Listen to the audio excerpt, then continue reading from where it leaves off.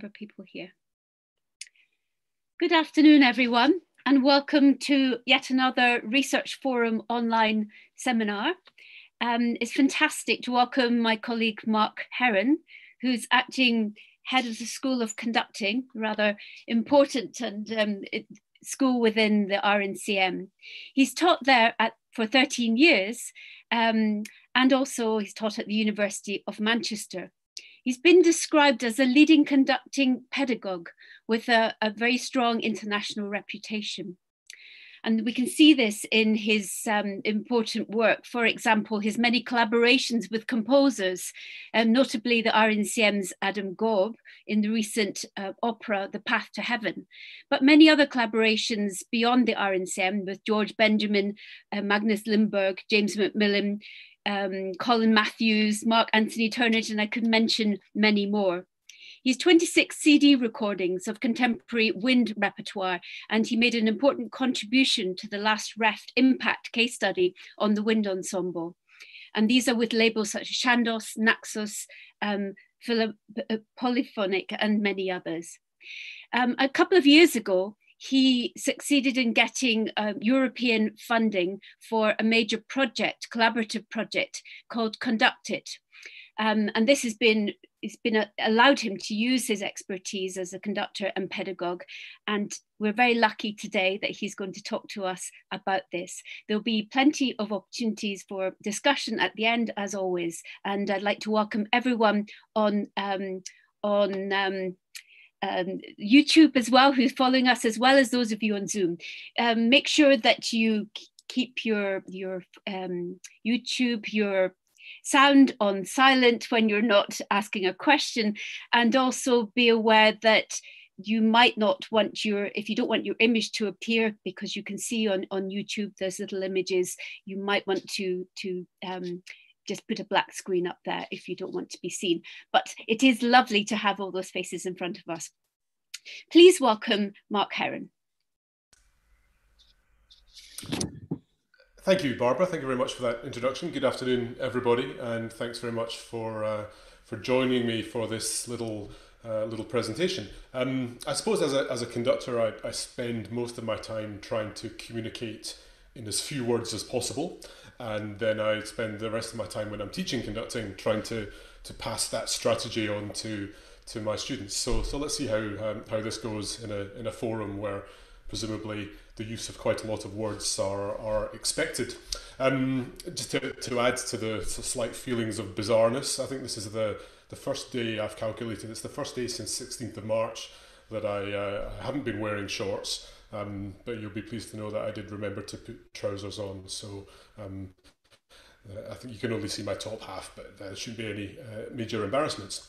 So a little bit of overview of what I'm going to talk about. Um, I'll give a bit of bit of context about teaching conducting and what that means and the particular challenges of that, um, which will lead into sort of why we I felt the need that we should do this project, um, how the project came about, and, and what it involves and then uh, we'll end up with a bit of audience participation. So I'm very much hoping that you will all uh, join me in participating in an online conducting lesson. Uh, no, no previous experiences uh, is necessary. Uh, we're going from, from the ground up, from conducting 101. Um, if you if you have a baton, then then that's that's great. Uh, if not, uh, a, pencil will will suffice um, absolutely fine. Uh, we'll, we'll, get there in about 20 25 minutes, I guess. So maybe you just think about your the space you're in. So if you can if you can get yourself to a place where it's possible to stand up and stretch your arms out without knocking over any uh, laptop stands or small children or, or anything like that, that would be that would be great. So uh, without further ado, let me just share my PowerPoint thing. So we'll start with a start with a fairly big question. Um, can you can you teach conducting?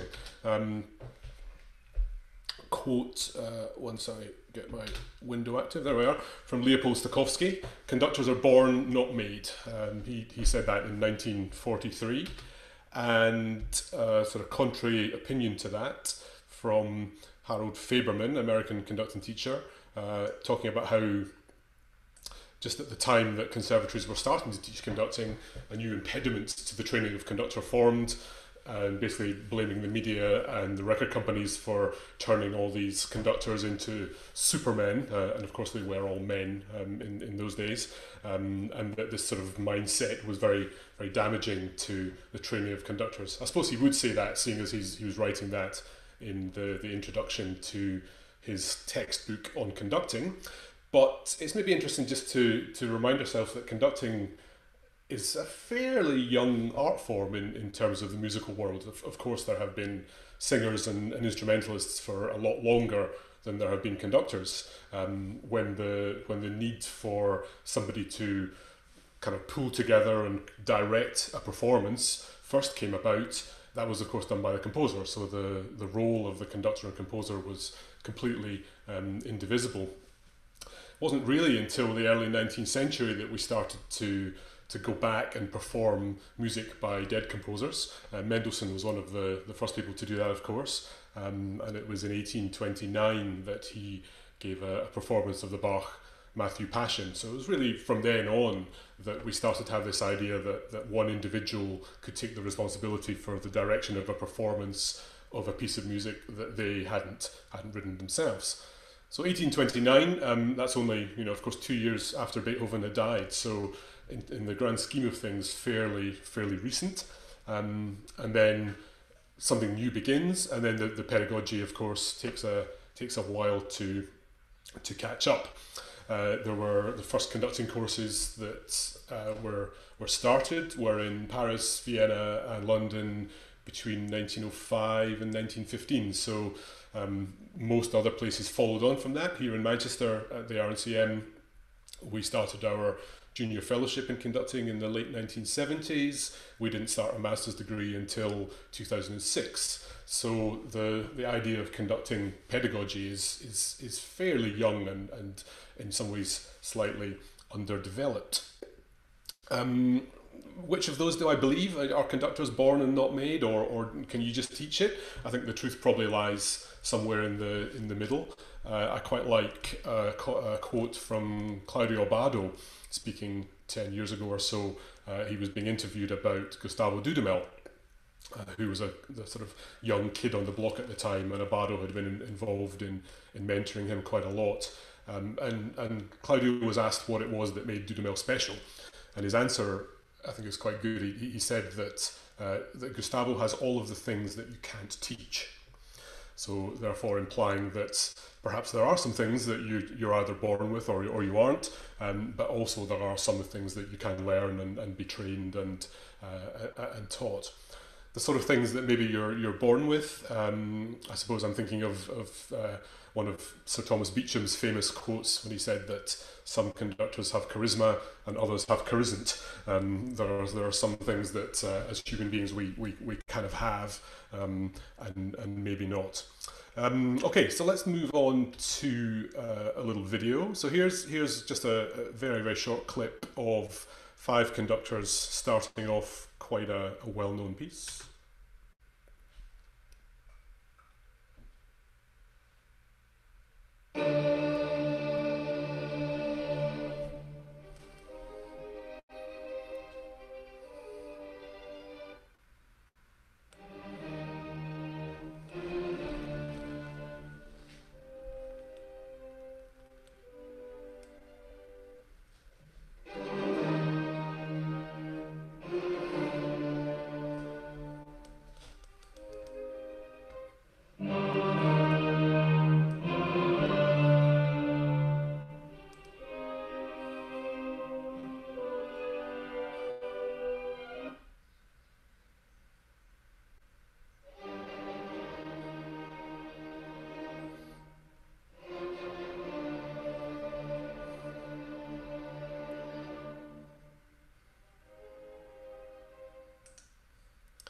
So uh, there, there was no zoom lag there in that last one. That was uh, that was actually actually what he did. Um, so what do we what, what do we have there? And, and, I'm going to talk a little bit here about about the, the what Farberman described as the impediments to the training of, of conductors. Um, we have five conductors conducting the same piece, beginning of the same piece. Uh, there's there's kind of a way to conduct the beginning of Beethoven Five. There's there's a there's a, a technique to do it. Um, certainly, the first four of them pretty much did that. Num- number five was was something else um, entirely, um, and they were all conducting essentially a professional orchestra.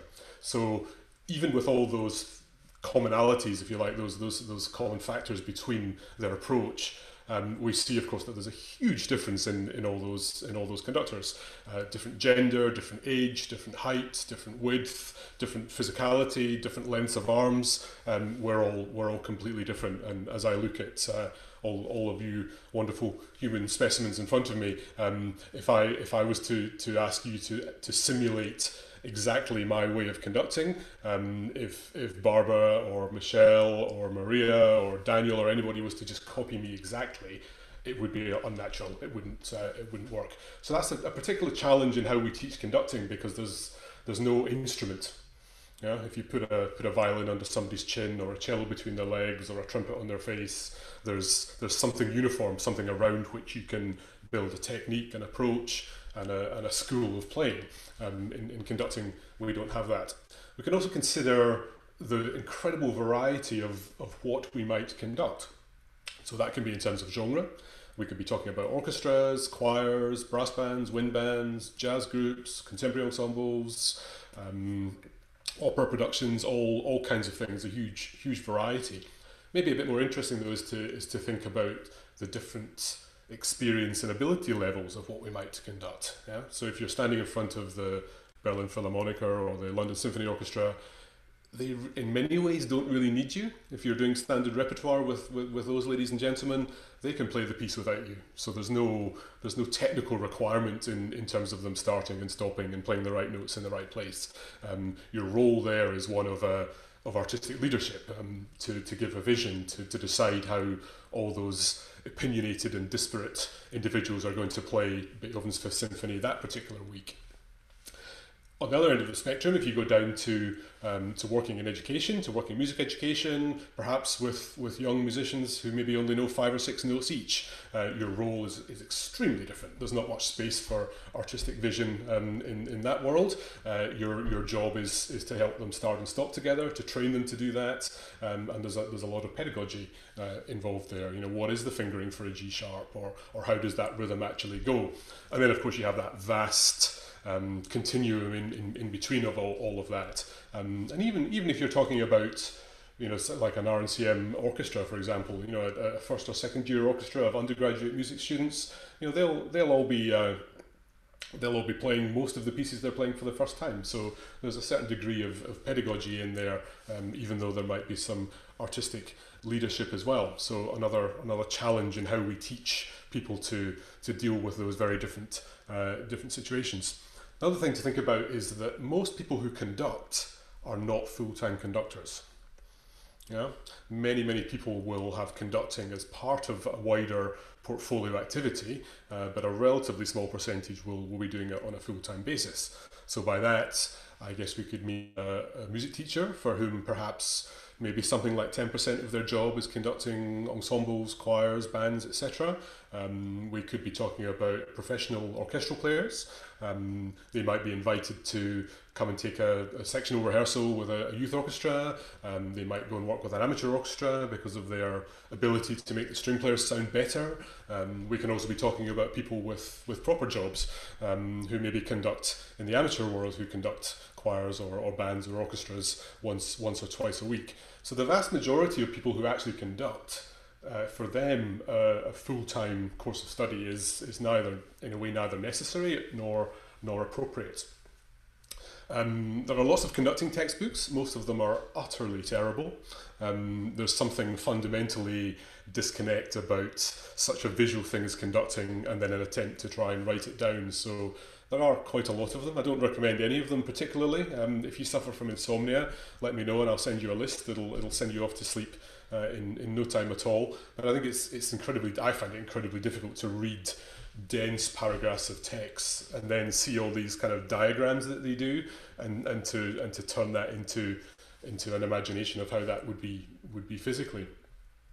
It's also quite resource intensive. Um, if you want to get better at playing the clarinet, you can have a lesson and then go away and practice for eight hours a day by yourself. Um, that doesn't really work with conducting. No matter how many times you might wave your arms along to the, the end of Mahler 2 on your favourite YouTube recording, that's not really going to, uh, to, to teach you or make you effective as a conductor. We, we need we need people to, to respond to as people to conduct. So uh, the resources involved in it are quite quite tricky.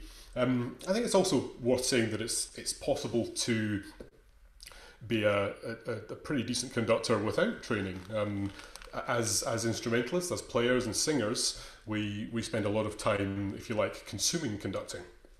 Um, we, we we see it, we see it good, we see it bad, we see it somewhere in between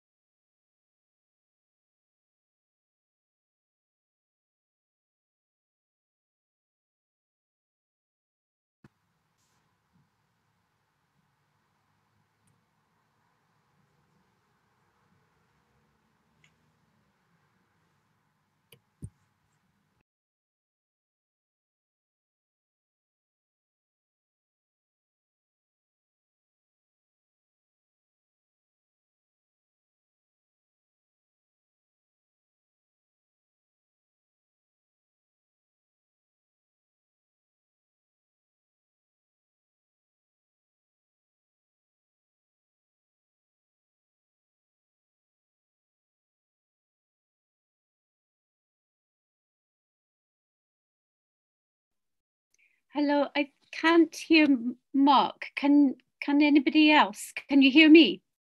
You can hear Mark. So we need to send him a message to ah, ask him. I, ah, he's back. back. Fantastic. Over back ah. over to Mark. So where did we where did we get to? Did did you see any of that video? No. No. Okay. Well, let's let's try try that again and see if it uh, survives the screen share this time.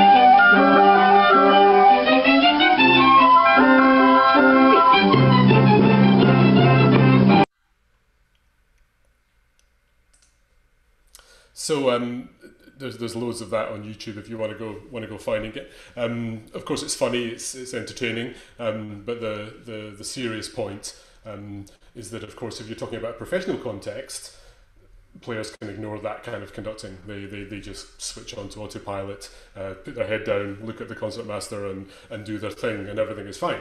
But if you if you transport that into uh, the world of music education or community music making, then it's a whole a whole other different thing. Um, and I've seen of of course I've seen this so many so many times uh, where you get music teachers who in almost all respects, they're absolutely fantastic. They're, they're really good musicians. They're great at teaching their instrument. Their pedagogy is fantastic. They're inspirational. They're really committed. They're loved by the students. Everything is fantastic uh, until the point at which they start waving their arms around, and then it can, sometimes can be quite can be quite catastrophic.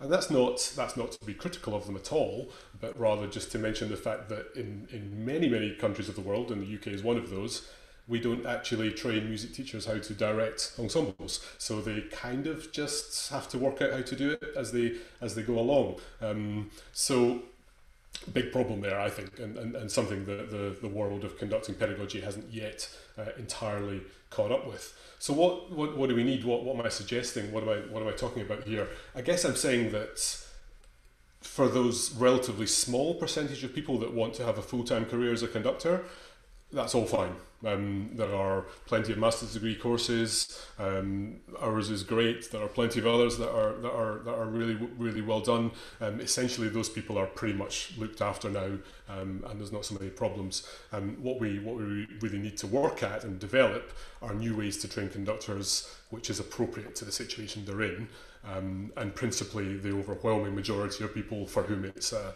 it's a, it's a part of a, a job. Um, and as I said, they're not going to go off and uh, do a full-time two-year master's degree, and, um, and frankly, nor, nor should they. We have been addressing that for a while at the RNCM. We have a, many of you will know we have a series of external masterclasses and short courses. Those have developed over the last 10 years or so. Um, they're very specific. We have courses for wind and brass conductors, for choral conductors, for orchestral conductors, for people who are um, in the amateur world, for people who are music educators, for people who are aspiring to be professional. Um, that's all great, um, but realistically, we can only really um, accommodate 50 or 60 people um, across a year of, of those of those courses. Um, given that we get around 500 or so applications for those, um, there's clearly a, a, demand and a need um, for, for, for something else. And I guess that's where this, this project, the, the, the ideas behind this project um, started to started to, to appear. So, as Barbara said, it's a, it's a, a European project. It's a, an Erasmus Plus strategic partnership maybe worth just just briefly touching on, on what those are. Um, we, all, we all know about Erasmus in terms of students doing exchanges, going off to uh, spend a term or a year in a different in a different country. Um, probably you're also aware of staff mobility. So I might go to Weimar for a week to teach the conducting students there, and the professor there would uh, come come to Manchester at a different time, and Erasmus pays for the travel and accommodation costs of that, which is great. Um, all of those kind of things are Erasmus Key Action One.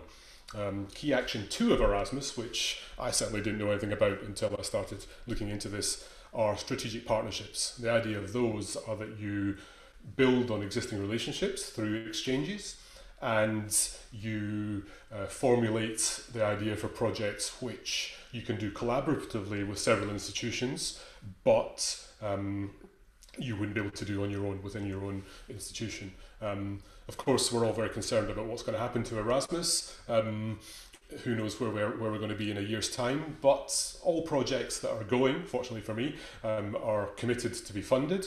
And actually, it was still possible to, to apply for an Erasmus strategic partnership um, even only six weeks ago. The, the 2020 deadline uh, was the end of March and it was extended until the, the end of April because of the, the lockdown.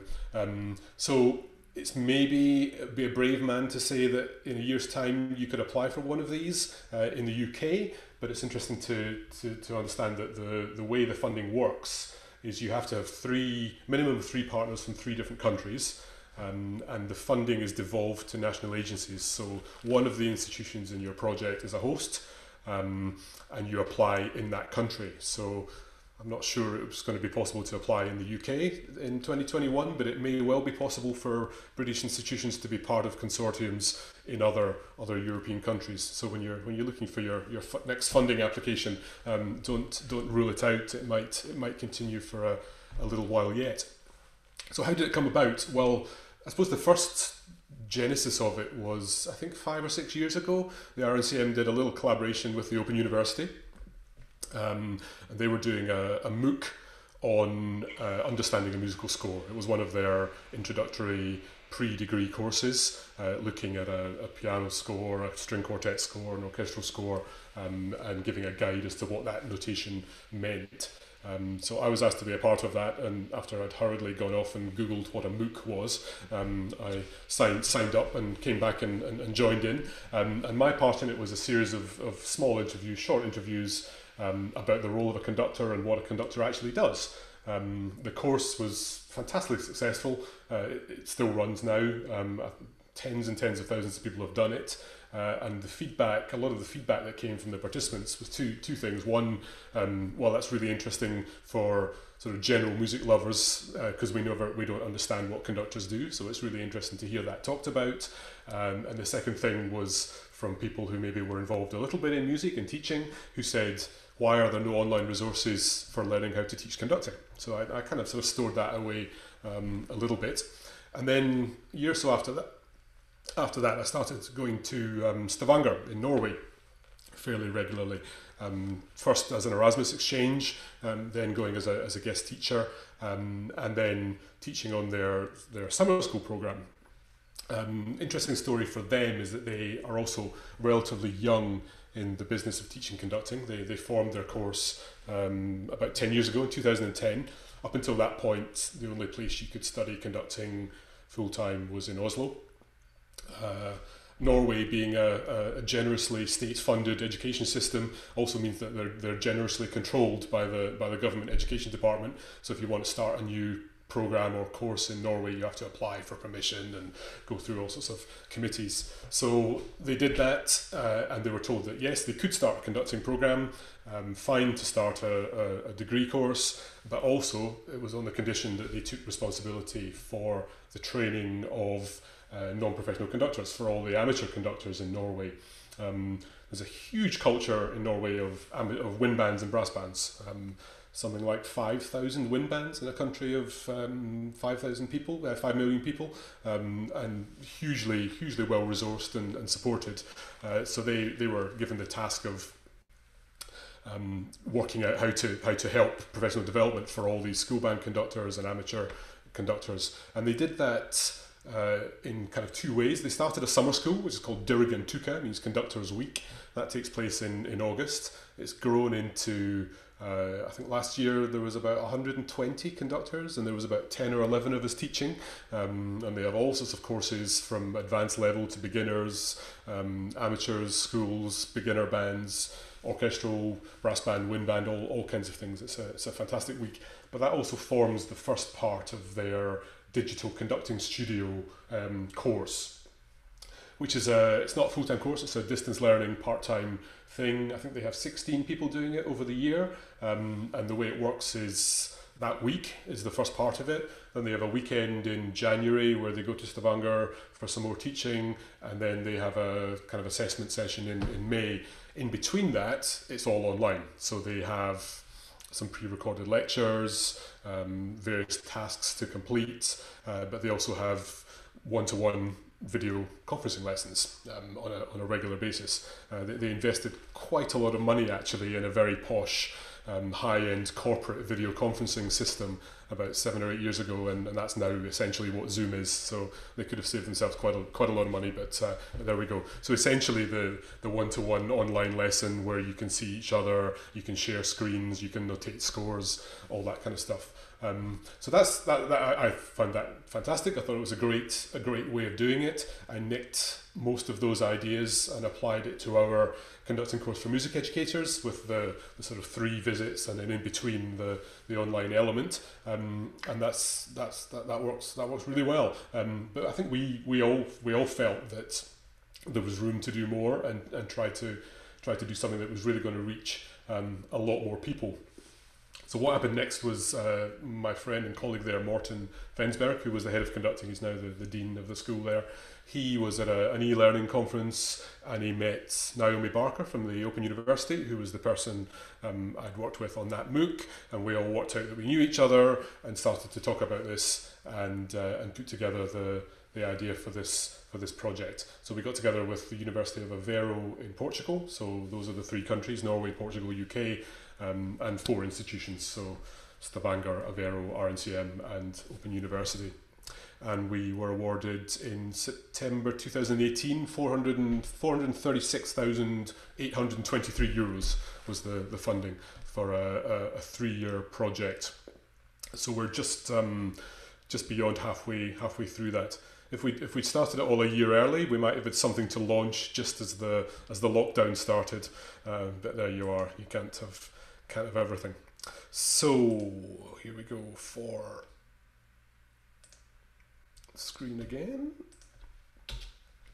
So the project requires you to have intellectual outputs. We, we have two.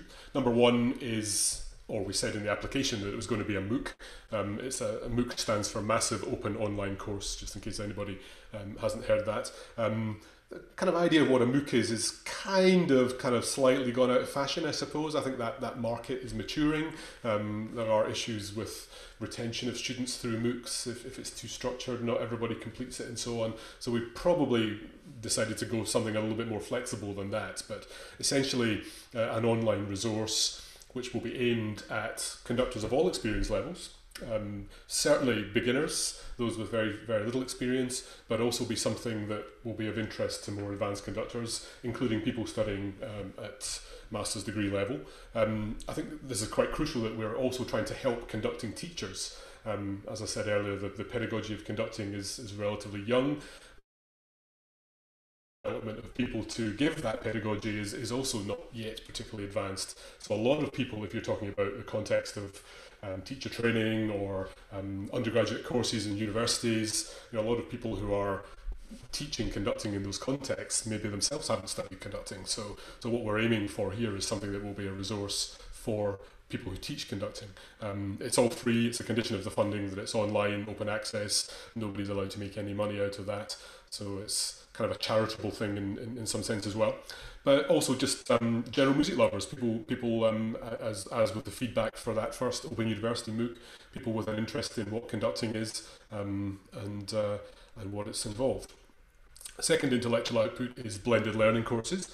I'm sure we all know a lot more about blended learning now than we did three months ago, um, but essentially combining traditional forms of learning with, with new technology. So an example of that would be if you're running, as, as we do in the RNCM, uh, if you're running a course for undergraduates uh, who are instrumentalists, an elective course in, in conducting, um, maybe maybe your course is something like eight two-hour two-hour seminars spread across a term.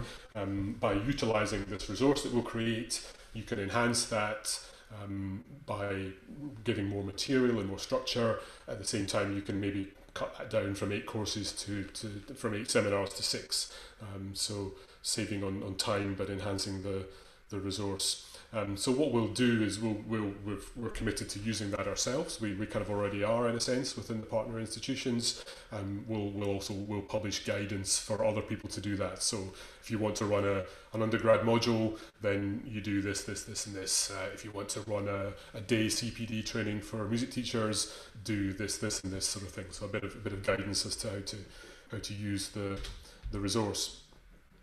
So we sat down and decided what it was we needed to teach. Um, colleague and friend Mark Wigglesworth, um, English conductor, who's been doing a few sessions actually with our master students over the last couple of months. He brought out a very entertaining book uh, last year. It's called The Silent Musician. It's not a textbook, so therefore it's it's not too dull. Um, worth worth a read if you have a have an interest.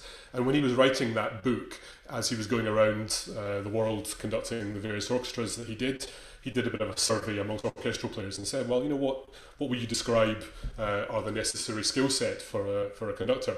Um, so he collated all those responses and came up with a nice, concise description of what it was that a conductor needs to be able to do. I won't read this out, I'll let you just read it in your own time.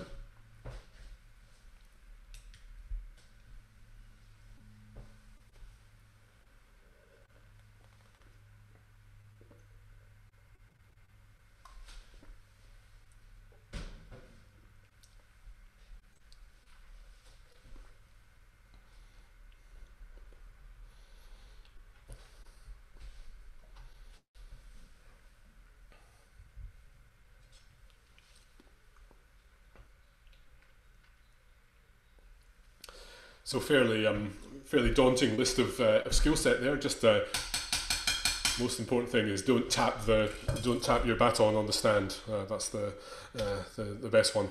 So structure of our, our resource that we're fairly far on with actually. We're, we're kind of on schedule.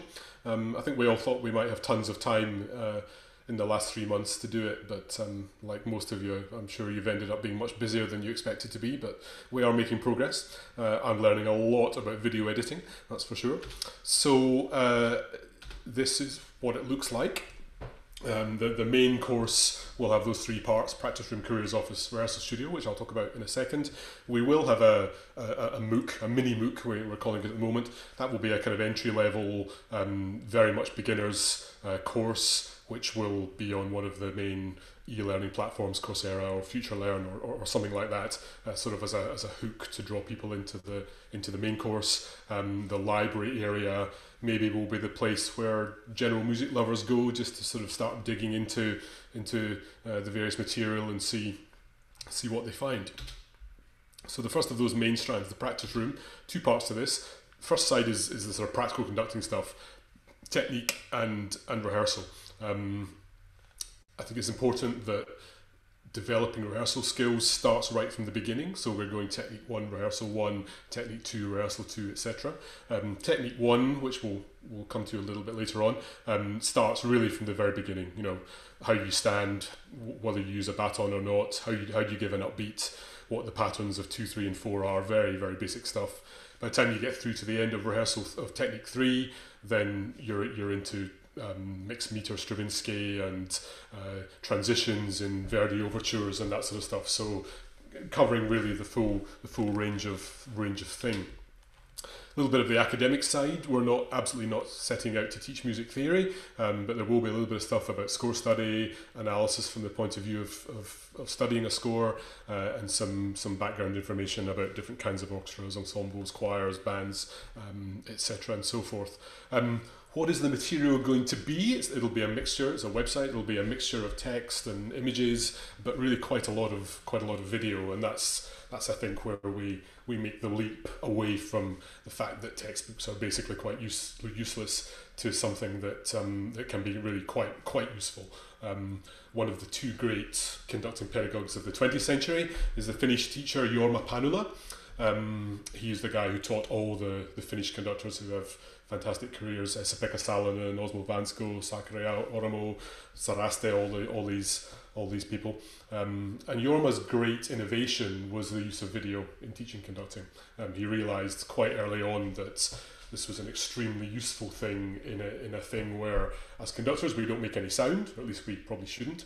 Um, everything, therefore, it's very difficult for us to get feedback on what it is that we're actually doing and how effective that is. Um, so Jorma brought in this idea right from the beginning of when it was possible to have um, portable video cameras and VHS video cassettes and so on uh, back in the 80s. He was using uh, video technology quite extensively, and that's something we really uh, taken on board.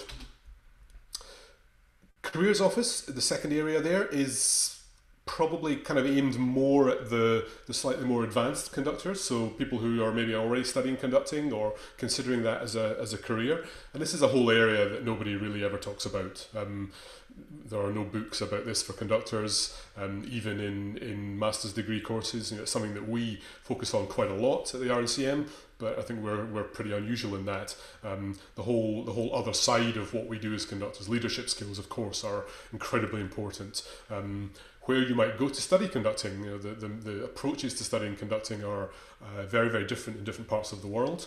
Uh, in Germany, um, the pedagogy of conducting grew up around preparing people for a career in the opera house because that's where most of the jobs are. Um, in North America, the pedagogy grew up around uh, preparing people for academic positions because that's where, where most of the jobs were. So lots of different decisions to be made in that respect programming, uh, all the, the kind of business stuff. You know, the first question on every young master's conducting student's lips is, how do I get an agent? Um, do you have to win a competition? What master classes can you go to? That, that sort of thing. So there's a lot of interviews in there. We've done a lot of interviews with managers of orchestras, with agents, um, the early career section at the bottom there. I've done a, a series of interviews with some of our more notable graduates over the past 10 years. So people like Duncan Ward, Jamie Phillips, Alpesh Chauhan, Chloe Van Soeterstede, people like that who are you know now standing in front of world-class orchestras with them talking about their journey because everybody's journey is is completely different. There's no there's no one set way to do it. It's, it's kind of not really the case that you leave college, do an audition, and that's you sorted. Uh, there's much more freelance aspect to it than that. So that's a very a very kind of important part of it, and something that's not really been done. The rehearsal studio is a series of case studies. So what these are is a series of kind of roughly 30 minute documentaries about the process of rehearsing a piece in each of those different genres. Think we started out with five, but we're now at, we're now at seven. Um, so we have a cl- classical orchestra piece, which will be, I think it's the first movement of Haydn's Drumroll Symphony, symphony orchestra piece is something that we're doing. Uh, we're meant to be doing it at the end of November. Let's see whether, whether that happens or not. Uh, the brass band is Foden's brass band, com, com, uh, preparing for a contest, etc., etc., etc. Contemporary Music One is a, a, project I did with our new ensemble back in January, I think, of this year, uh, with Errollyn Wallen. and the crossover project was something we did with the jazz pianist Gwilym Simcock back in November. So that was a collaboration between him and a few of his jazz mates together with a, a chamber orchestra, uh, which was a side by side project of RNCM students and BBC Phil players. So just to give you a flavour of that, it's just a couple of couple of minutes of this video. As I say, it's about half an hour in the end, but I've just snipped it down to a couple of minutes to give you a, a sense of um, how that'll work.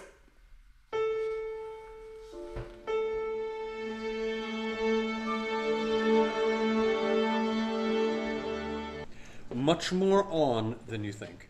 Yeah? So, like, even for example, strings, when you have this da da da yada, it shouldn't be da da da da da, it should be really quiet on. Da da da yada da, and even yours, but it's all about the inflection. And you can see accents that maybe don't need to be so heavy, or staccatos that hardly need to be played at all, and, and some notes that are, and you need to find your way into the, the nuances and inflections of that language. Because yes, it's the same notes and it's the same notation, that's all we have, but we need to make it sound like Gwilym's music and not like uh, Gwilym's music with a very, very strong Brahmsian accent. Mm-hmm. So how much do you kind of work together at the rehearsal or, uh, or indeed beforehand as well when you're preparing this music? I think in a way, I mean, as with so many things in music, individual relationships are absolutely crucial. Now, industrial. This um, originally, this was a piano concerto that Gwilym wrote seven, eight years ago, probably, um, that had three movements. And this is a movement that still is the same as it was originally. And what he's done is change the first two movements completely and replace them with one longer, more elaborate movement in five. Your ability to count in five will improve greatly over the next over the next 48 hours, for sure. It's really complicated. About there. So one, two, two, two.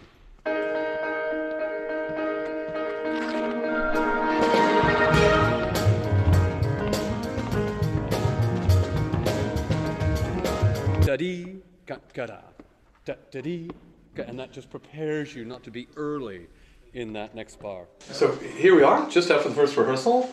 Um, nobody got hurt. Nobody got hurt. Nobody threw anything. No bloodshed. Nobody stormed out and said, "I can't possibly work with these people." So that's progress. Things in that movement, but not much. Yeah, the ending is pesky. That's one. Should we just play from double F, or do you want to go earlier? double F. Double F is fine. So just, I'm I'm simply listening to Martin in that nine eight bar. Yeah. I mean, I, I just watch him because I can.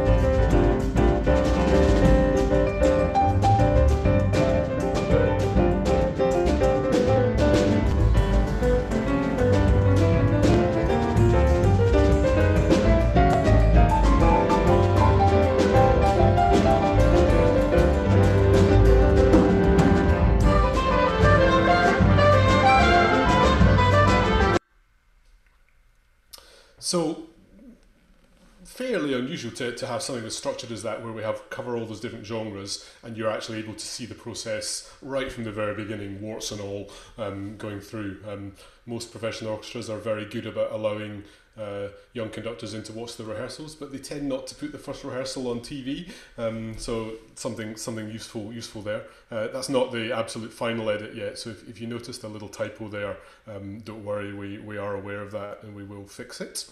Um, the technique aspect of things, so this is something that I'm kind of working on quite quite quite closely, um, along with Alex Webb, who you saw interviewing the questions there, also on this on this call.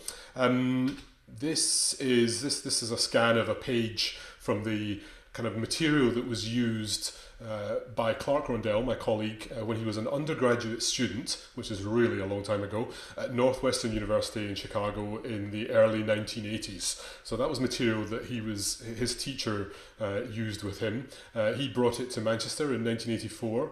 Um, I remember then uh, learning from it uh, under Clark's direction when I was an undergraduate in the early 90s, uh, and then I started to use it myself about 10 years after that. Um, and I've been, over the last 10 or 12 years, I've been kind of evolving and expanding it um, and typesetting it. Um, it starts off as just, I think it's about a dozen little exercises. Um, we're now at the point where we have, I think, something like 47 different um, extracts uh, which are designed to teach um, a, a, different area of, of conducting. This this is number two of, of the workbook. It's very very much the early stages. It now looks like that middle image rather than the, the one on the left. Very nicely typeset, very very posh looking. Um, and this material will all be available on the website, accompanied by videos demonstrating how to conduct this. And you'll be able to view this online um, and also download the material. So there'll be scores, piano reductions, and transposed parts in every imaginable transposition.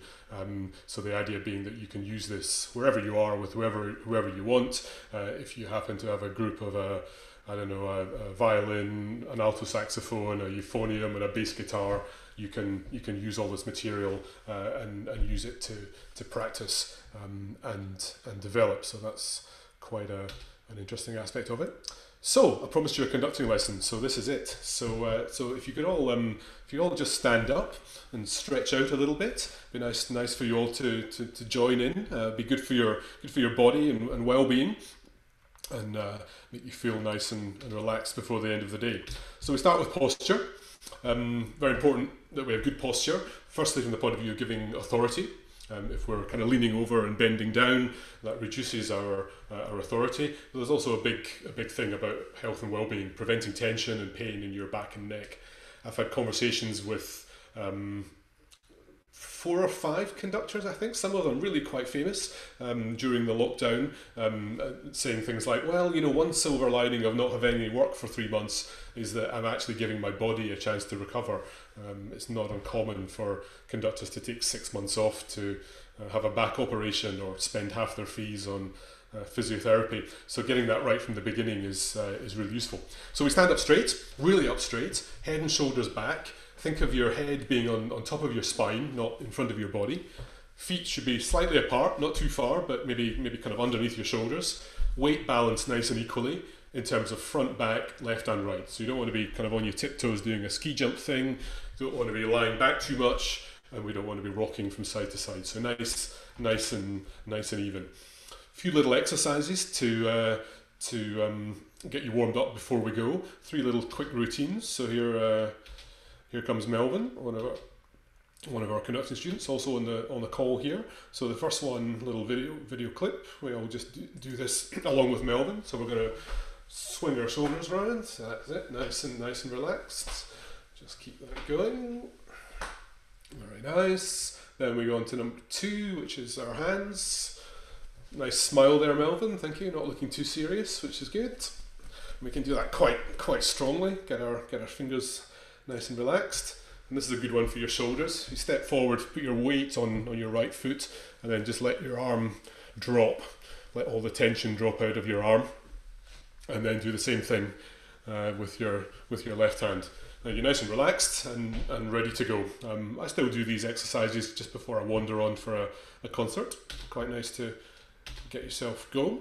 So preparatory gesture. Um, we tend to use the term upbeat in English, but that's not a great uh, not a great translation, really. Um, if the music starts on the third beat of the bar, then the, the preparatory beat goes across, doesn't it? Not not up. So um, preparatory beat is is what we've gone for. Um, of course, we're showing when to play, but also also how to play. So, from your experience as a player or a singer, how is it that you know when you should make a sound? It's an interesting question because most of us start to do that at such an early stage in our development that it's quite a difficult question to answer. You just you just play when you see a beat, don't you? But but what do we what how do we do that? What do we what do we mean? In some ways it's obvious, but let's let's work it out.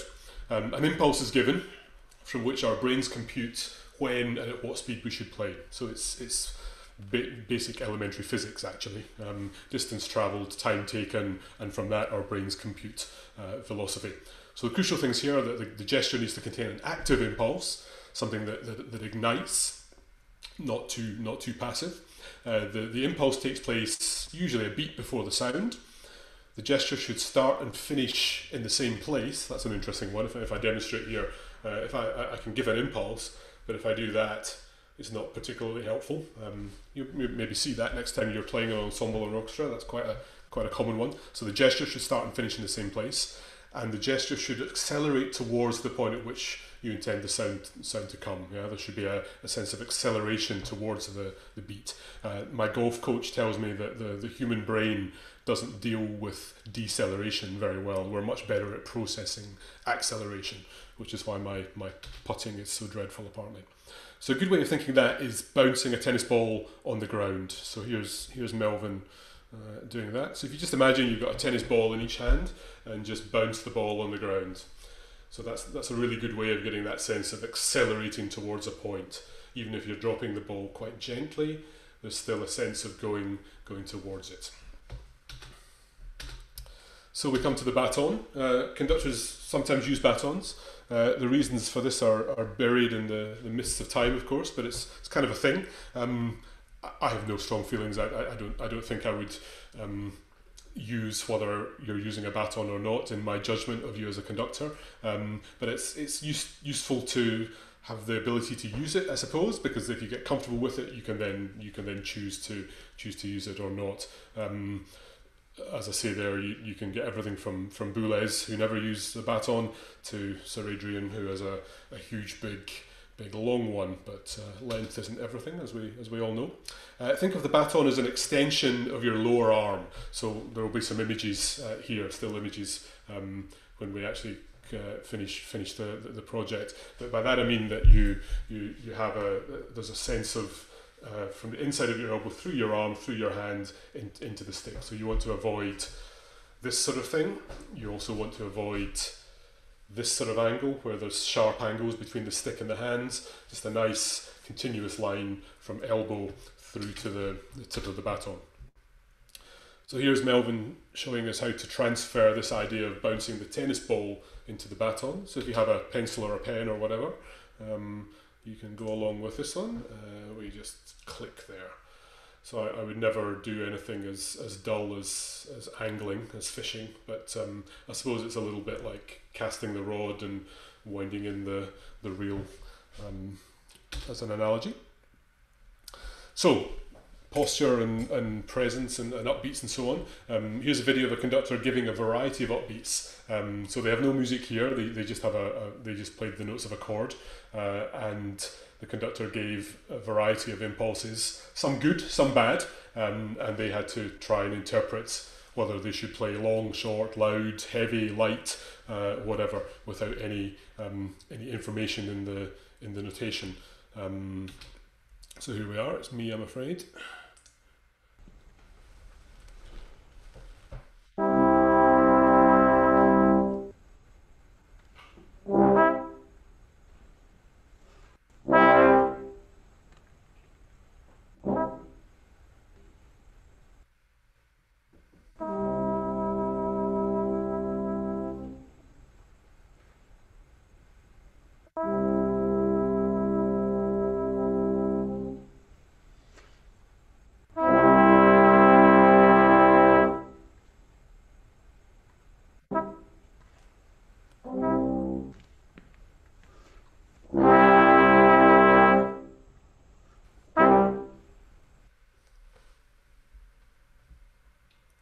So that's of course something that you can practice with even with two two other people. So you can get in a group of three and just play play for each other.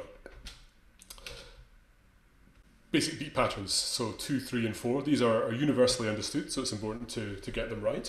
Um, and the, the innovation of technology here is is the use of GIFs. So uh, this is a GIF of Melvin doing a, a nice legato 2-4, and he'll, he'll go on forever. Uh, he, can, he could last for the whole quarantine. So you can you can sort of view that on your screen and uh, and copy along is the is the idea.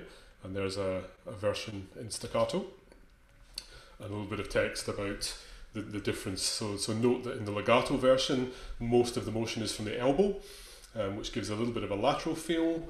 The wrist has some flexibility, but not too much. Shoulder and upper arm are still. Um, the staccato version is much more, much more in the wrist, which gives a little click uh, and a short crispness, so we're not using too much arm there. And we'll have the same things for 3-4, so down, out and up. So if you're right-handed, you go out. If you're left-handed, you go out to your left. And the same thing in, in staccato. So those, those would all be there just to practice along to for as long as you, as long as you felt the need. Same thing in 4-4. So we come into the center of our body before we go out. So right-handed conductor down, left, right, up, left-handed down into the center to the right before going out to the left. And so on. So a little bit more just about the different hinges that we have. So we have the we have the wrist, we have the elbow, and we have the shoulder. You can think of this a little bit like gears on a car or a bicycle. So, so conducting from the wrist is like first gear, the elbow is third gear, and the shoulder is, is, is fifth gear. If you're using the wrist only, the gesture will be quite small, quite focused, energetic, therefore very good for crisp, light uh, staccato music. The elbow and shoulder should be static. Using the elbow increases the size of the gesture, enables a bit more horizontal movement, very useful for legato or to show strong impulses with flowing motion. Wrist will be flexible, but not too much or else it becomes a bit octopus-like. And then using the shoulder increases the potential size of the gesture again. As the size of the gesture increases, so must the speed at which your arm moves, which is incredibly obvious but, but worth, worth remembering.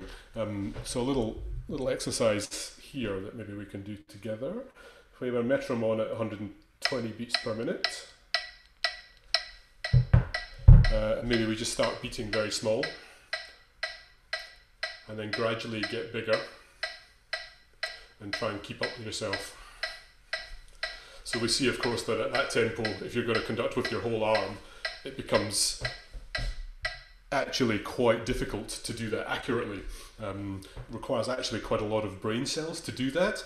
And if your brain is concentrating so much on keeping up with yourself, you're not able to listen to what's happening. So, so small is good, but only if you're using the correct hinge.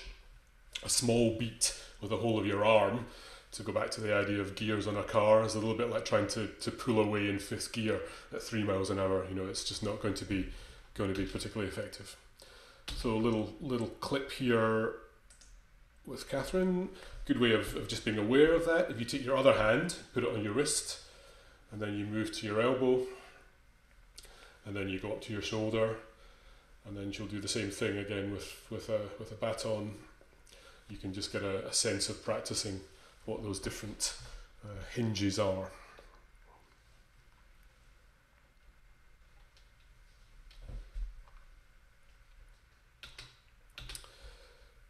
Stopping, releasing the sound, uh, we should apply the same principles as starting it. We need to give information as to how, not just not just when. So we can we can release the sound. A good way to do that is with a sort of anti-clockwise motion. It can be done with one hand, it can be done with the other, it can be done with both, it can be done very energetically and, and specifically. It can be done slowly and gently with a tapered release. Lots of different ways to do that. So we just suggest. Um, as you walk through the videos, paying attention to the ends as well as the beginnings. So then we come on to the, the, the, the workbook, workbook exercises. So trying right from the very beginning to apply what can be a little bit dry in terms of learning beat patterns to actually conducting music um, and hopefully having the chance to work on that with, with instrumentalists. So them talking a little bit about the workbook, as I've already mentioned, there'll be three video views with each extract, a video of the, the conductor plus the score, a video only of the conductor, and then a slightly different angle which also shows the, the players. And you can, as I said already, you can download PDFs of the scores, piano reductions and parts. So the first one, uh, workbook exercise one, beginning of Romeo and Juliet Overture by Tchaikovsky. Um, this text would appear alongside the video so you would be able to see the score at the same time but just explaining the legato style um, no click just legato smooth movements relaxed wrist etc etc etc so here's the first version. So feel free to conduct along to this if you want to.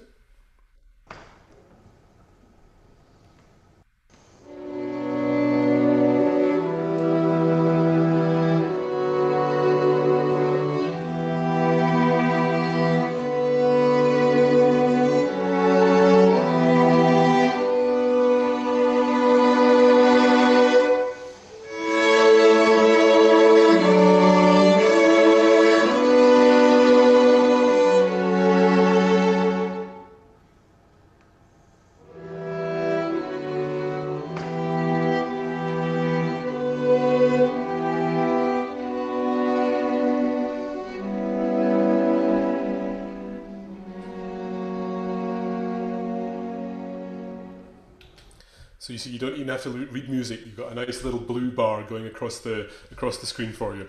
Um, so the second the second view is just the the same angle of the conductor uh, without the score, and this is the the third angle where we see the, the, the response from the musicians as well.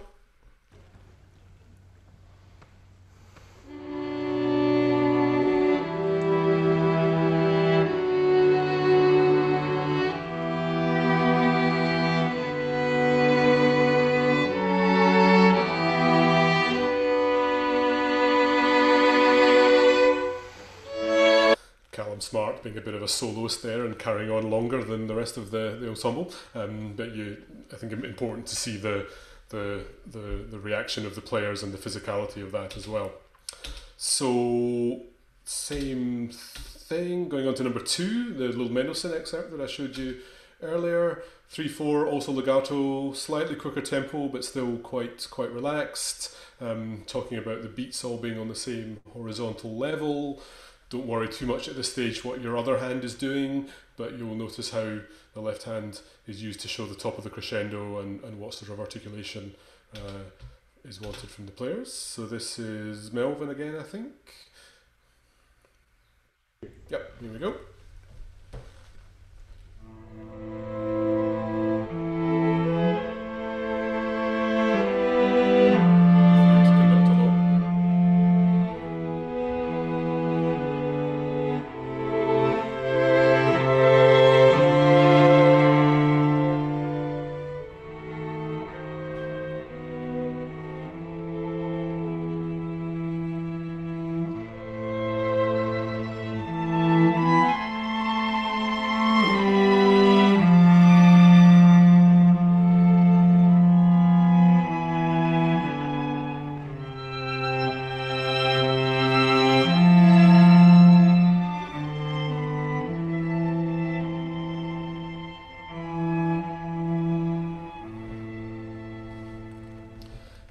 Of seeing how much video lag everybody has because everyone's conducting at slightly slightly different times. Um, funny to funny to watch. Then again, the same ideas, but this is the number three. So Tchaikovsky Nutcracker. Now we're in two four. Tempo is quicker, and the character is now staccato rather than legato. So smaller gestures, mostly from the wrist rather than the the, the elbow, and a little bit of uh, advice about the the accents that appear in the in the score.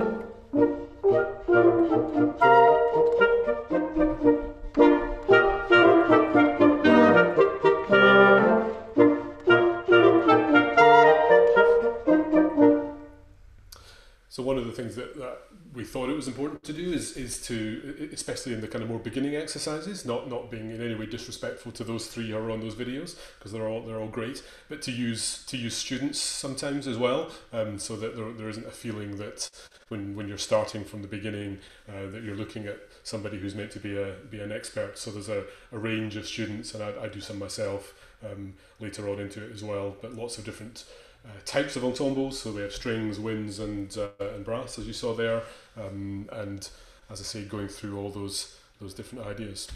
So that's kind of it from what I wanted to talk about. Um, for those of you who are watching on YouTube, uh, that's my email address. If you want to ping any questions by email, I'll try and sort of monitor that um, as we as we carry on from here. Do do feel free to get in touch. A couple of social media uh, links there for the project. Um, I did a um, when the lockdown started. I, I got a I think I think it was ten or eleven little clips, little video clips from colleagues, friends, uh, conductors, teachers of conducting, some young conductors as well, uh, with little short videos giving advice on on how to use lockdown time when, when nobody was available to conduct. So you, you can access all those there. There's there's some quite interesting ones, including Mark Elder and Marin Alsop and and some fairly eminent figures like that. So that's um, that's me done. Hope that was uh, of, of some interest and very very happy to to take any any questions.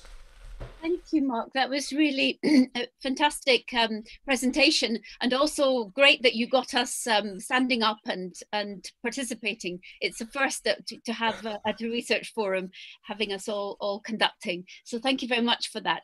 There, I'm sure we have lots of questions which we'll take. In if you can put um, click on in the participants thing, put your hand up.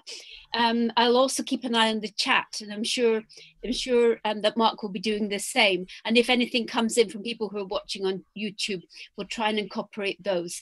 But I'm sure that this project is so relevant to our current situation, and I'm sure uh, um, we have plenty of questions. So who wants to start? I've got Mich I can see Michelle's hand up. Do you want to go, Michelle? Yeah, hi. Thanks, Mark. Absolutely brilliant. It was so interesting. I'm I'm I'm no conductor, but I always wish that I'd had chance to learn a little bit. So so now I'm sorted. Thanks. Um, I, I, I, mean, it's a, it's an amazing project, you know, and it's you know you obviously got the funding because you're you're a great team to be leading this. I just wondered what what do you think the world needs? Does it need more conductors? Does it need better conductors? Does it need greater diversity in conductors? What what is your kind of ideal for the conducting world through this project? Well, I think well, there, there, are, there are a number of ways to answer that. I mean, I, I think in a, in a if, if you're talking about the, the world of conducting in terms of who we see in front of our orchestras on, on TV and listen to on the radio, then then yes, we do need greater diversity. Of, of course, we do. Um, I don't need to tell any of you that uh, until relatively recently, uh, life was very hard if you were female and you wanted to conduct. Um, the change in that in the last five years is unbelievable. I think. I mean, really incredible. Um, and it will take a while to to get to some sort of equality, but of course that's that's inevitable in a in a in a profession that people tend to do until they die. You know, there's there's a lot of a lot of conductors in their fifties who've still got another thirty years of their career left. So it'll it'll take time, but you know, I, I fully believe in ten years' time, if you look at conductors under the age of forty, there will be much more uh, diversity in terms of gender and and race. Um, in terms of what we're trying to do with the project, I mean, you you kind of in a way answered your own question when you say yeah, I always wanted to be a conductor and now I'm sorted. Um, I, I really believe that if you take if you take somebody who has musical skill, you know, and of course what we're not trying to do is train musicians from from the beginning. Um, you learn to be, you know, when you learn to play an instrument from the age of ten, you learn to play the instrument and you also learn to be a musician, don't you? And that's we often forget that that that, that goes hand in hand. And by the time you get to the point at which you start conducting, hopefully you're a good musician. you, you you certainly ought to have enough musical authority to stand in front of whoever, whoever it is you're standing in front of, um, and and gain their respect. Um, so assuming taking as a given that, that there's a musical skill there, um, and assuming that we're talking not necessarily about preparing somebody to stand up in the Met or Covent Garden, I, I really believe that you can equip people with the technical skills to be really very capable and competent conductors really quite quickly. So so that's the that's basically the plan really to just try and help help people to be better and, and in doing so, you know, what was Kodály's statement was that the, the most important person in the country is not the, the chief conductor of the opera in the capital city, it's the it's the people teaching music in the small towns. Um, and that's really true of conducting as well, isn't it? You know, so if if we can improve um, and, and enable uh, the, the, the people who are just taking small ensemble classes and you know whole class primary school, wider opportunities teaching and so on. You know, if we can help those people just to be better, then then that's um, I think a, a great service to to uh, to the whole the whole uh, the whole art form. I think. Does that answer Thank your question? you. I think Jane is next. Jane, do you want to ask a question? Mark, I just want to echo what Michelle said about the presentation and the project, which I think is absolutely fantastic. Um, Michelle, that was a terrific question, and Mark, a really great answer. Mine, uh, uh mine is uh, is a little bit different. I wanted to ask you about the difference between. Do you perceive differences between conducting um, instrumental ensembles and choirs? And I ask because I used to do as a, as a solo singer, I used to work very regularly with a, with a chamber orchestra in London, and they use different conductors. And I said to them once, Have you ever thought about working with so and so? And they said, Oh, certainly not. They're a choral conductor. and I said, What's wrong with that? And the person I was talking to said, Oh, we couldn't possibly work with a choral conductor. They call us folks and I just wondered if you had any any any comment on that. Um, I think well, so there's a kind of worms there. Thank you, thank you for that. Um, I think you know there are there are there are examples of that, not just using choral conducting. You know, there, there are certain things, and, and I think this is where this idea of you know when you're conducting at a professional level, um, you're you're not really a pedagogue. You're not really giving basic training. Um, you're just giving giving direction. So so if you ask, uh, I, I, remember uh, working a little bit with Sir Colin Davis. Um, I was on the, the LSO's kind of mentoring scheme for young conductors. Um, 15 years or more now ago, um, and somebody asked him exactly that. And he said, "Well, you know, we watched him taking a rehearsal with the LSO chorus of Brahms Requiem, maybe I can't remember. Um, so the, the chorus master trains the choir. Sir Colin turns up, tells a few jokes, and inspires them for one rehearsal, and then the next day they get together with the orchestra and do the concert. Um, question to him: Did, did did he do anything different because it was a choir rather than an orchestra? Absolutely not. Yeah, absolutely not. On the other hand, there is something in the in the training of a choir which is very very different from the training of a brass band or a wind band or a string ensemble or a jazz group. So so I think I think there I think there there are some differences. Um, there are probably some prejudices, particularly in this country, about choral conductors. Um, some of those will most of those are probably un, unfounded, um, and it's something that we are trying to do. I mean, I, we don't, uh, uh, we being the RNCM conducting department, um, so Clark and I, I suppose, we, we, we don't believe in compartmentalizing conducting. You know, if you go to the States, uh, you study orchestral conducting, or you study choral conducting, or you study wind band conducting, or you study jazz, uh, and then you get a job doing that. You're the director of orchestras, or you're the director of choirs, or whatever. Um, that sort of works there because there are enough jobs for it. Um, it would never work in this country because there aren't enough jobs, um, and I think fundamentally it's the wrong thing. So we we absolutely consciously don't do that. Um, we don't have a choral conducting course. We don't have a wind conducting course. However, what we do um, is try and uh, identify some talent amongst the choral world of people who are maybe already quite advanced as choral conductors, um, and that what we can help them to do is to on the one side develop that, but on the other side to also become a little bit more comfortable standing in front of an orchestra, because that often is where it goes wrong. And it's not because the choral conductors don't have the, the talent or to do that; it's that they've never been taught the skills to do that. Um, I mean, I, I, I sort of you know somewhat flippantly sometimes sometimes joke about when the the, the, the, the, the chorus master has trained trained the choir, the amateur choral society. They hire a scratch orchestra to come along on the day of the rehearsal. Um, the conductor thinks, oh, oh, I better I better get a baton because there's an orchestra here, and they, they kind of unleash the, the longest baton you've ever seen, and all the strings shuffle backwards because they think they're going to lose their eyes, and you know that's just a just a question of training. Um, so we, what we're trying to do is is help those people to be better because there is a real opportunity um, in that situation where if the orchestra turns up on the day and the conductor actually knows what they're doing, then it's like, oh wow, that's that's amazing. Um, so um, uh, Ellie Slorach, uh, who graduated a couple of years ago, Joe Judge, who's currently a student, those are those are those those kind of people. So so I think I think there is something in it, and there is, and, and that's and that's it's partly just because you can be a choral conductor only. You know, it's possible to do that. You can be busy you know you can easily end up with four or five choirs and and, and never actually conduct instruments. Um, but you just you just need to learn to do it. Is that uh, is that any help? Without being too rude about choral conducting. I mean, what I would say is that I I would regard myself as competent. I mean, I'm a, I'm a brass player originally, that's my specialism. I'm absolutely fine working with young wind and brass players, telling them to play their instruments better.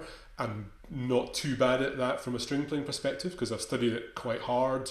And I have a, a, one of my deepest, darkest secrets is that I did play the violin from the age of eight to about 12. So I have some uh, understanding of, of what that feels like.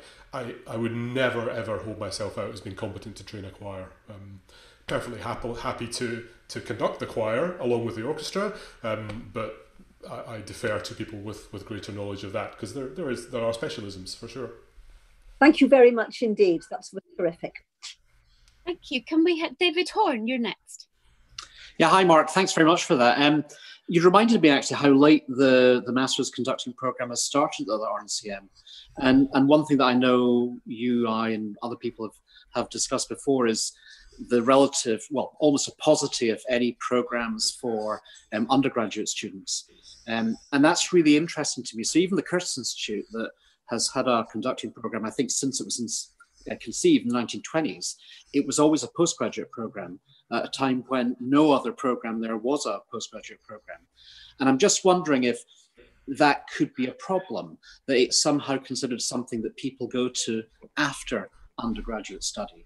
I mean, I can understand all the logistical reasons for it, and if you can't have a, an orchestra or a choir to conduct, you know that that's really going to hamper things. But it does seem to me that it's really odd that we kind of consider this as something that people go go to a higher level once they've done other things. Yeah, I think so. It's a, it's a really good, really good point, David. Um, I think you know there, there are some countries of the world where you can do an undergraduate conducting degree. You know, you, you can do that in Spain and Portugal, for example. Um, you can't really do it in this country or in the states. Uh, in Germany, they, they still think in the kind of five year thing, you know, so that if you if you start conducting, you do it for five years, regardless of whether you're 18 or 23 or 24 or whatever. Um, I talked about Jorma Panula, the Finnish Finnish teacher. Um, he he certainly felt, and I, and I kind of subscribe to this, that if you're talking about preparing people for a, a career in the professional world, conducting professional orchestras, it's it's better to have some experience of that. If you've played in professional orchestras and sat on the other side of the fence and experienced not just good conducting and bad conducting, but good and bad management. You know what? I mean, I, I still remember the things that as a as a freelance tuba player sitting in the Halle in the mid '90s, I still remember things that conductors did or didn't do that really pissed me off. Um, and I and I try always re- to remember um, not not to do those things. Um, and it certainly exposes you to the repertoire if you if you played it. Um, so I, I think there's a, there's a lot to be said for not starting too young. On the other hand, the industry likes the next young thing. You know, at the moment, young conductors are very much in vogue. Um, so, in some, you, you could argue that training conductors at undergraduate level is necessary just in order to protect them a little bit. Um, but the whole other side of that is, I suppose, the kind of area that this project has worked at. If you're talking about people who are going to conduct in the community sector or in education, then uh, absolutely, why why not train people um, more in undergraduate degrees? And that's, that's certainly something we're we're hoping to do through the the revalidation degree to, to give, you know, we, we do a bit at the moment, we do you know, all uniquely uh, amongst British Conservatoire, certainly all of our first year undergrads on the classical course, they do four one hour workshops and conducting um, in large groups in their first term. Um, so everybody does a little bit, um, and then there's a module in fourth year. We're kind of looking at how we can kind of plug plug that through. But I, I think it's certainly, and and actually most of the places, I mean, in Stavanger, for example, just to talk about my, my partners. You can do an undergraduate degree in conducting there, but you must also study an instrument and, and you must be good enough on your instrument to get into the college. So um, I think running the two things side by side is, is, is important. It's a great idea. Really sorry, just a, a, quick comment on that. I've seen a lot of conduct um, composers, for example, when I've run workshops with them, and they conduct back to front and stuff like that. They don't know how to conduct a five four, and it, it just seems really good if there was some kind of basic understanding that you'd have that as musicianship training.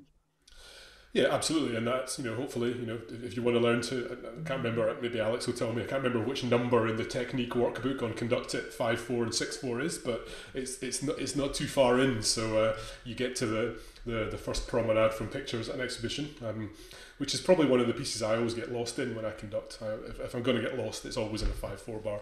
Um, so it's, it's, good to good to tackle that early on. But composers, I mean, I didn't mention composers. You're absolutely right. You know, uh, in the world of composer workshops, if, if as a composer you can actually conduct your own music and other people's as well, uh, that's that's a good skill actually. It's quite quite marketable.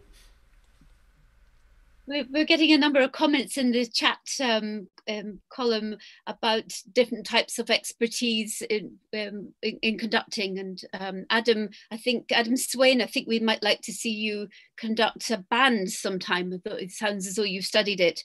Um, and about the, the sort of technique. So if anybody wants to have a look at those comments, that's, that's really quite um, interesting. So Jeff Thomason, you're next. Hi, Mark thanks for that. It's really interesting. I must say that conducting is one area of music I've always shied away from. And just to echo what David said, it's the one thing I really would have welcomed as an undergraduate music student at university. You had training in everything, but no conducting training. So I think this course is designed for people like me. I want to get to know it better. How important do you think it is for people to come to conducting through having had experience as an orchestral player first. And so they've seen things from the other side of the podium. Yeah, I think as, as I said a little bit, little bit earlier, I think I think that is important, and I think it's you know one one um, one can talk. I'm, I'm not going to name any eminent um, English universities, but um, there, there is a kind of thing of the mm, organ scholar, um, which is a sort of uh, a certain breed, I suppose, in a way. Um, so yeah, you can have people who are really, really intelligent. They're really, really good musicians. They're highly trained. They probably work quite a lot with choirs. Um, they can do all kinds of things. Um, but if, if, if you've never actually spent much time within uh, within an orchestra, it's, it's not it's not just the repertoire and, and the kind of technique of that. It's also just the just the life in a way. Um, I remember actually we had a, a junior fellow um, probably going back about 10 years ago, Carlos Del Cueto, some of you might, might remember him, um, kind of half Mexican, half Spanish, but he'd studied at Cambridge. Um, did, he did undergrad and then masters at Cambridge. So he was there for maybe even a PhD. He was there for seven years or something. And he was really, really kind of in the Cambridge conducting scene, conducted all the student orchestras, uh, was very, very popular. Um, and I remember when he came to the RNCM and then you know we talked probably it was, it was more than a term it, it was like February it was halfway through his first year and he said, you know, I, have I've I finally realised that actually um, normal life is not like Cambridge, and um, and at Cambridge everybody likes to be lectured to, they like to give lectures and they like to be on the receiving end of lectures. But professional musicians aren't like that, are they? It's not like that in a conservatoire. Um, so just just that sort of um, understanding of what orchestral life is and and what annoys people is is is is, is really helpful. I think so. I, I think so, and I think even with you know, we, we've had some some phenomenally successful um, young students, people like Duncan Ward and Jamie Phillips, who, who really were already having their career when they finished their undergraduate degree, um, having taught them at the at the university on the on the joint course. Even the two of those, you know, Jamie was in the NYO, Duncan was a he was a composer, but he but he played piano in the NYO. Um, they grew up around professional musicians, so even though they never got experience of playing in a professional orchestra, they were still around that a little bit, and I think that's really, really crucial. I think. Um, Thanks. It, has been actually a privilege to play for some of our student conductors who've gone on to do great things. Yeah, and it's great for you know great going going to uh, your orchestra in Wilmslow, Jeff, and Stockport, and the local amateur orchestras. You know that's a that's a really, a really great environment for for student conductors because. Um, you know, in, in, the RNCM, we have to kind of we have to be there to monitor them. You know, we can't leave student conductors alone with an orchestra, otherwise, the head of strings is knocking on my door, going, "Why was a first year master student conducting the orchestra for three hours without anybody there to supervise them?" You know, everything is supervised and controlled, so it's it's a really important part of our, our training for them that they go out to the amateur orchestras and meet all these. Um, often very successful and opinionated people in their in their different different worlds who are more than more than willing to give them a bit of feedback, which is which is great because they'll certainly get that when they start working in the professional world. That's for sure. Thanks, Larry. You're next. Hi, Mark. Um, really enjoyed the presentation. I was thinking that the last um, conducting class collaboration with Ensemble Plus was actually the live audience was sports coaches and sports executives. And I was wondering if your project is targeting things outside of music in the way the RNCM obviously has elsewhere, if you kind of buy into the conductor as a, a coach and leadership more nebulously, and if your project has gone to other areas to get training for conductors and leadership and um, and in in those crossover areas. Thanks, Larry. Um, in in relation to this specific project, no. Um, we we you know uh, as with all these things you, you start off with world plans for world domination and then you then you realize you have to deliver the bloody thing um, so we're, we're not kind of going outside of, of that with this uh, but it is something that we're that we're doing in other ways you, you mentioned that uh, that session which is a, a session we've done now for la the last two years um, Manchester Metropolitan University runs a, a, Masters in Sport Directorship. So this is a course which is Dan, Dan Siders there, he knows all about this. Um, this is a, a course for elite people in the professional sporting world. So it's a distance learning master's course aimed at football managers, uh, coaches, chief execs, finance people in the sporting industry. So you typically get you know, Mark Chapman from the Match of the Day presenter, uh, the, the Arsenal ladies football coach, the development director of Welsh Rugby, you know, pe- people like that come come on that course, and they wanted to come in and do a do a conducting uh, workshop, um, and it was absolutely fascinating. I, I really do believe in there's a lot of a lot to learn between music and, and elite sports coaching. Um, they they came and just sat in the middle of a class um, and experienced the the sort of real time decision making that was going on, um, and also experienced the the immediate on the spot direct feedback, often very honest feedback, that we give as teachers to our conducting students in a public forum in front of an orchestra of, of 50 people. Um, so that, that kind of thing is, is something that we're absolutely developing. Um, I mean, it can be a little bit gimmicky, I think, the sort of conductor does leadership work, workshop for corporate people kind of thing. But if it's if it's done in the way in the right way, I think it's I think it's really interesting, and it's, it's certainly something that um, we look to to develop further. Thanks, Mark. I can't see any ha other hands up, so I'm going to ask um, a, a, question myself. I'm, I'm, interested in your response about how um, elite sports people can learn from from conductors. Could it work the other way as well? Can you see a, a sort of a, a, collaboration, a project even, that might involve um, sports scientists working with conductors and perhaps other musicians? Yeah, I think so. I mean, it's you know, I mean, just in the use of technology, of course. I mean, I, I talked about how we how we use video quite a lot in, in conducting. I mean, I, I um, I've done that for for, for as long as I've, I've been teaching. Um, something I learned from uh, I, I mentioned that I play golf. Um, I know most golfers are idiots, but I'm Scottish, so I get away with it. We all, we all play golf. Um, but I, I, when I having a few golf lessons and the, the technology that, that, that my teacher was using, um, using apps. There's an app called Dartfish, which is basically just a kind of video app on your phone, but you immediately slow down to quarter speed, half speed. You do all those kind of you know drawing yellow lines on the screen and circling things that you see them do on the telly and so on and all that kind of stuff is is potentially quite useful. Um, so I, have I've certainly learned a little bit from that, and of course we're we're we're way behind in music in terms of the use of uh, the use of technology. So I, I think there are there are crossovers there for for sure, um, and, and it's something that we can we, we, we can look into more. Um, I think that one of the things, interesting things that came out of the sports coaches from from Manchester Met uh, was just the sort of hierarchy of who's in charge. You know, they the, the sort of idea that well, you're the conductor, but actually, even if you're the music director of an orchestra, um, you're a guest. You're you're only there, you know, 16 weeks of the year at the most. Um, the person who's really in charge of the orchestra is the concertmaster. Um, so you're kind of in charge, but you're not really in charge, and that sort of blew their mind in terms of the whole hierarchy of. Um, highly paid, you know, there, there was one guy who was, I think he was the head of sports science for Manchester City, and he said, you know, I'm, I'm technically in charge of all these multi-million pound footballers, but of course, if I told them directly what I thought, they would just walk out in a huff and never come back, sort of thing. So the ways in which we sort of deal with all those all those relationships are are, are very very much to be learned on both sides, I think.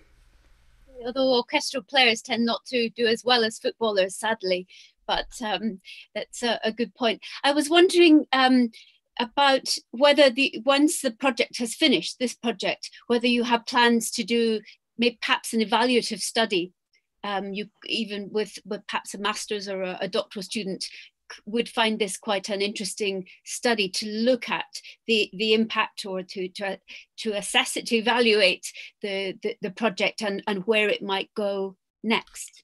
Yeah i think so. I mean you know we're, we're very conscious of the fact that we'll we'll launch this thing and, and we'll have various conferences and dissemination events and, and so on and so forth. Um, we, we also we then need to to monitor its use and see where it's going and um, develop it as we go. Um, so uh, that's absolutely something that's that's in the in the back of the mind for sure. Um, the, the, the area that we're not also really not looking into at all is opera, um, which is a whole whole kind of other thing. So um, there are various sort of specialism spin-offs that um, that are certainly certainly possible. Thank you. Do we have any more questions from anyone? I'm not. I can't see any more hands up on um, blue hands up. Nope, so, um, is there anybody got anything else to ask? Um, I was wondering whether we should hear from Melvin, but uh, given that he's he's here, we saw him on on screen. But um, I don't know if you want to talk about being part of the project. Hi. Oh, sorry. Yeah, being part of the project has been really quite interesting actually, because it's brought me back to especially in those workbook stuff, it's brought me back to the the very basic and the very beginning, and it actually made me rethink about how how I how I've learned the basics and whether there's stuff that maybe I should revisit and change. And it's, it's quite interesting to to see how much how much you don't think about when because you think about it so much when you first start out, and then now I almost never think about oh a four four is this pattern, a two four is this pattern, and and it's been quite nice to go back and, and visit it. Yeah and I think it's quite quite useful for so many of my friends around me because they they they have they have they can tell when when the conductor is bad, but they can't really tell why the conductor is bad a lot of the times. And I think this will help really demystify quite a lot of it. I think, yeah. I think, I think that point, Melvin, about about basic technique is is really useful because if you compare that to instrumentalists. You know, as, as a horn player, you know, the first thing you do when you in the morning is you, you do a bit of buzzing on your mouthpiece, then you put it in your instrument, you play a few lip slurs. Um, if you're a pianist, you warm up with a few scales. You know, in, in most instrumental um, disciplines, we, we do actually constantly use that very basic um, beginners, you know, entry level basic technique stuff. Um, but in, in, conducting, maybe not so much. So it's it's, it's quite interesting to, to go back to. It's another interesting aspect of conducting is that especially if you compare it to the sporting world. I often use the analogy of a, a tennis player or a golfer. Um, you know, the, the, the, higher your ranking goes as a tennis player, the more coaches and support you have around you. You, you have a nutrition coach and a fitness coach and a mind coach and a, a, a service coach or whatever. You know, you get more and more support. Whereas as conductors, um, once we start to get somewhere, we're meant to be kind of all powerful and not need any help. So the, the idea that we don't have any coaching or, or access to people to support us is is a little bit bizarre in a sense. So that's certainly something that, that I find myself doing a little bit more, um, often quite secretly. You know, conductors who are maybe having very fine careers and they just they just want a little bit of little bit of an MOT, a little bit of a service, um, and they, they come along with some videos and chat about a few things. Um, but it's it's almost kind of almost a feeling that we shouldn't admit that that's necessary. But uh, why why not? A very important um, point, and it's something that's relevant to to all of us in our, our professional professional lives. Um, the the I can't see any more hands, but um, I do want to to flag up the the importance of of this work and uh, creating online resources in in our current climate, um, particularly with the, the pandemic. And just to flag up two other events before we thank, thank Mark Heron finally. Um, the first of these is um, Prism Future Music, which is happening on Monday, 15th of June. Um, it's an online festival with world premieres of Prism commissioned music. So it's something that's really central to RNCM, um, RNCM's work. Um, it's, it's going to look at writing, um, commission music and writing on artificial intelligence and creativity. On Tuesday, the 16th of June, there will be elements of it be broadcast in the RNCM radio show, which Larry hosts now rather famously. Um, and so that that's um, something that you should really look at. There's a hashtag Prism Future Music, which you should look at. And there's a web page on the Prism web page that gives you a full um, outline of, of the event on Monday. Now, the second one, thinking about lockdown, lockdown research, we started off our research forum series with David Horne, talking about his creative work um, under lockdown. And that really sparked a lot of interest, both at the RNCM and elsewhere. And we've had um, we've uh, uh, organised a, a, whole a whole session of um, the research forum, and it features um, Dr. Sam Duffy's research, um, which is about music um, resources online. It comes from her PhD project and obviously has particular resonance now. And we've got smaller, shorter contributions from uh, Dr. Larry Goves, Mark Dyer, Isabel Benito Guterres, good pronunciation, Anna Appleby, and Alex Webb, who's here um, with us today. So um, that is Wednesday, the 17th of June. It will be a really good way of following up from the, the sort of um, the way in which we've engaged with the, the whole um, adapting to our, our lockdown conditions, not least in, in having these research forum seminars at all. So um, please be there, please join us. And I'd like to thank Mark Heron for a fascinating um, talk and, and really giving us an insight into um, the potential for, for sharing, I suppose, expertise in the way that you are through this um, European funded project. So thank you very much and see you all soon. Sadly not in person, but have a nice evening. Bye bye. Cheers. Take care. Bye.